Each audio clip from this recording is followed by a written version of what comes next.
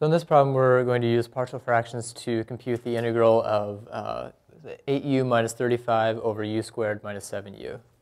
So to use partial fractions, we want to write this, uh, well, let's first factor this. Uh, should be a 7u here.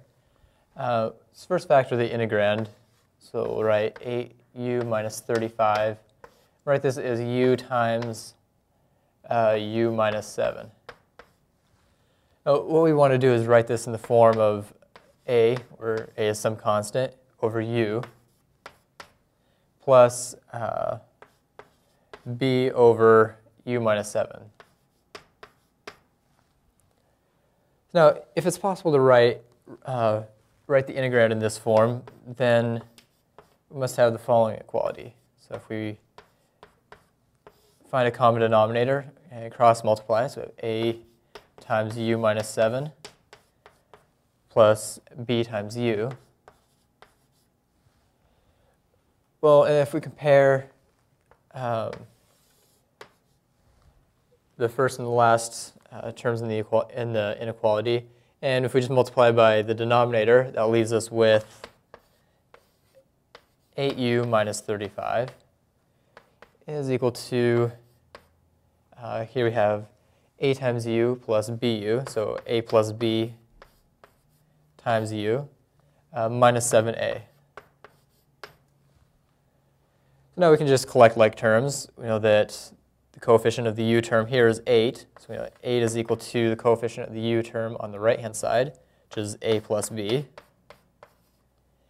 And similarly, negative 35 must equal the constant term on the right-hand side, which is minus 7a.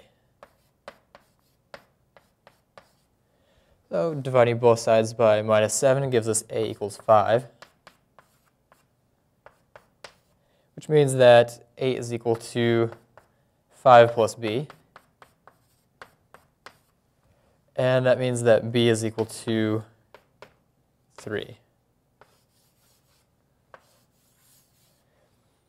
So now that we have our coefficients, we can rewrite the integral.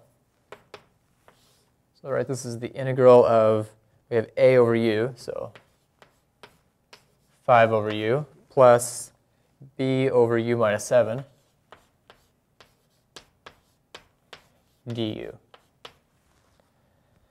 So now we can just apply linearity, uh, compute the integral term by term. So 5 times integral of 1 over u is natural log of the absolute value of u.